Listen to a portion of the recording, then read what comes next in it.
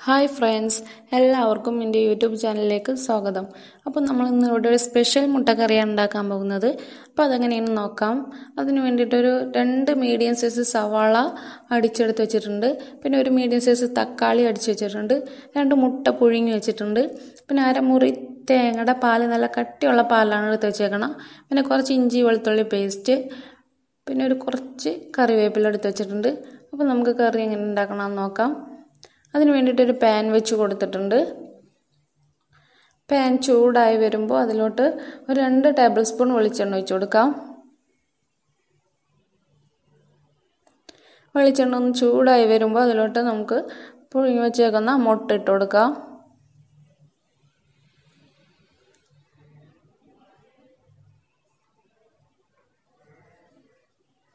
ഇതിലോട്ടൊരു കാൽ ടീസ്പൂൺ മഞ്ഞൾപ്പൊടി ഇട്ട് കൊടുക്കുക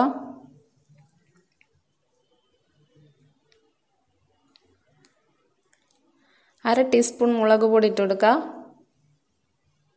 ഇനി ഈ മുട്ട ഒന്ന് വഴറ്റിയെടുക്കാം.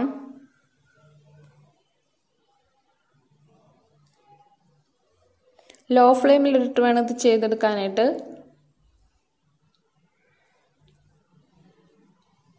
മുട്ട ഒന്ന് വഴന്ന് വരുമ്പോൾ നമുക്ക് അത് കോരി മാറ്റാം. ഇതിലോട്ട് നമ്മൾ അടിച്ചു വെച്ചേക്കുന്ന സവാള ഇട്ട് കൊടുക്കാം.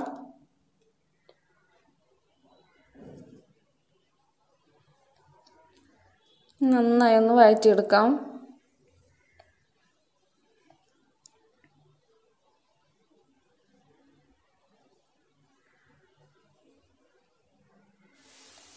വഴന്ന് വരുമ്പോൾ ഇഞ്ചി വെളുത്തുള്ളി പേസ്റ്റ് ഇട്ട് കൊടുക്കുക ഇതൊന്ന് വഴറ്റിയെടുക്കാം പിന്നെ അതിലോട്ട് തക്കാളി അടിച്ച് വെച്ചേക്കണത് ഒഴിച്ച് കൊടുക്കാം. ഇനി എല്ലാം കൂടി ഒന്ന് നന്നായി വഴറ്റിയെടുക്കാം ഇപ്പോൾ സവാളുടെ ഒക്കെ വെള്ളമൊക്കെ നന്നായി വറ്റുന്നത് വരെ നമുക്ക് വഴറ്റിയെടുക്കണം ലോ ഫ്ലെയിമിലിട്ടിട്ട് വേണം ഇത് ചെയ്തെടുക്കാനായിട്ട്. കുറച്ച് കറിവേപ്പിലിട്ട് കൊടുക്കാം.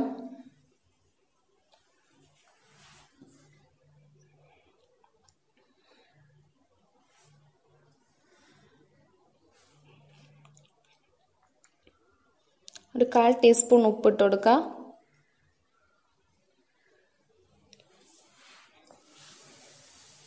ഒന്നര ടീസ്പൂൺ മുളക് പൊടി ഇട്ട് കൊടുക്കാം.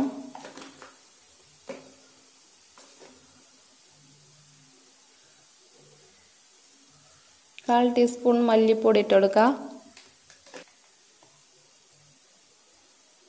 കാൽ ടീസ്പൂൺ മഞ്ഞൾപ്പൊടി ഇട്ട് കൊടുക്കാം.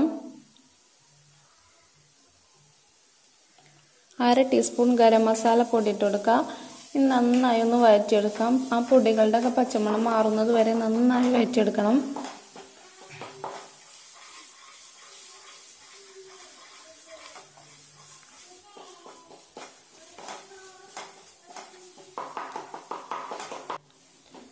ശേഷം ഇതിലോട്ട് തേങ്ങാപ്പാൽ ഒഴിച്ചു കൊടുക്കാം അപ്പോൾ കുറച്ച് കുറച്ചായിട്ട് നമുക്ക് ഒഴിച്ചു കൊടുക്കാം. വല്ലാണ്ട് ലൂസാവരുത്. കുറച്ചൊരു തിക്ക് പരുവത്തിലായിട്ട് കിട്ടണം. അപ്പോൾ നമുക്ക് കുറച്ച് കുറച്ച് ഒഴിച്ചിട്ട് ആവശ്യത്തിന് ഒഴിച്ചെടുക്കാം.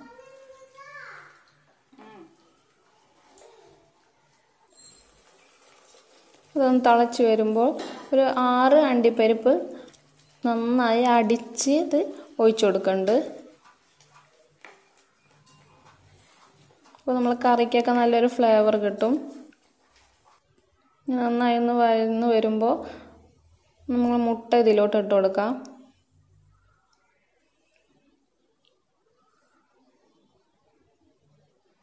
ഇപ്പോൾ നമ്മൾ കറി ഇവിടെ റെഡി ആയിട്ടുണ്ട്. വളരെ സിമ്പിളായിട്ട് ഉണ്ടാക്കിയെടുക്കാൻ പറ്റുന്ന ഒരു കറിയാണത്. നല്ല ടേസ്റ്റാണ് അപ്പോൾ എല്ലാവരും ട്രൈ ചെയ്ത് നോക്കണം. ഇപ്പോൾ നിങ്ങൾ കറി കൂടുതൽ വേണമെങ്കിൽ സാധനങ്ങളുടെ അളവൊക്കെ കൂട്ടിയെടുക്കാവുന്നതാണ്. അപ്പോൾ എന്റെ ഈ ചാനൽ ആദ്യമായിട്ട് കാണുന്നവരാണെങ്കിൽ സബ്സ്ക്രൈബ് ചെയ്യുക അതിന്റെ അടുത്തൊരു കുഞ്ഞു ബെല്ലൈക്കൺ ഉണ്ടാവും. അതും കൂടെയും ക്ലിക്ക് ചെയ്തിട്ട് അതിൽ ഓൾ സെലക്ട് ചെയ്യുക അപ്പോൾ ഞാനിടുന്ന എല്ലാ വീഡിയോസിന്റെയും നോട്ടിഫിക്കേഷൻ നിങ്ങൾക്ക് ലഭിക്കുന്നതായിരിക്കും.